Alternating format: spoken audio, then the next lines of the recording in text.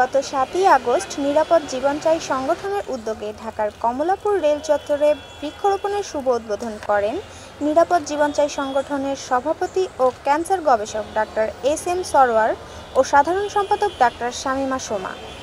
এছাড়া উপস্থিত ছিলেন নিরাপদ জীবনচাইয়ের সহ সাধারণ সম্পাদক এস এম ইমরান, সিলেট থেকে আগত সাংবাদিক সাইফুদ্দিন সহ আরও অন্যান্য নেতৃবৃন্দ। সভাপতি বক্তব্যে বলেছেন ঢাকা থেকে শুরু করে বাংলাদেশের প্রত্যেকটি জেলা উপজেলায় কমিটি দেয়া থেকে শুরু করে বৃক্ষরোপণ সহ নিরাপদ জীবনের জন্য সমস্ত কার্যক্রম চালিয়ে যেতে হবে। ইতিমধ্যে আমরা আপনারা জানেন যে নিরাপদ জীবনচার পক্ষ থেকে আমরা করোনা প্রতিষেধক বিতরণ করেছি এবং করোনা রোগীদেরকেও আমরা চিকিৎসার ব্যবস্থা করেছি, যে আমরা প্রতিটি জেলায় এখন, প্রতিটি থানায়, প্রতিটি ওয়ার্ড ইউনিয়নে নিরাপদ জীবনচার কমিটি গঠন করা করা হচ্ছে।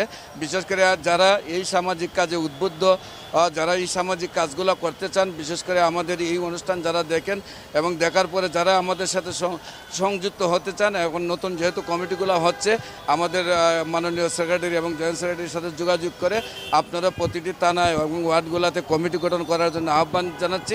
পাশাপাশি নিরাপদ জীবনচারী যে যেখানেই আছেন, আমরা যে কর্মসূচিগুলো কেন্দ্র থেকে ঘোষণা করি, প্রত্যেকটা কর্মসূচি আপনারা বাস্তবায়ন করে বাস্তবায়ন করার জন্য অনুরোধ জানাচ্ছি।